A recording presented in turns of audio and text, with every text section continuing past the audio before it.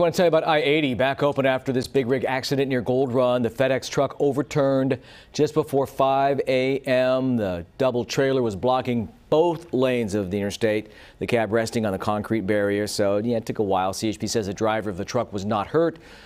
Uh, for hours, eastbound I-80 was shut down to all vehicles.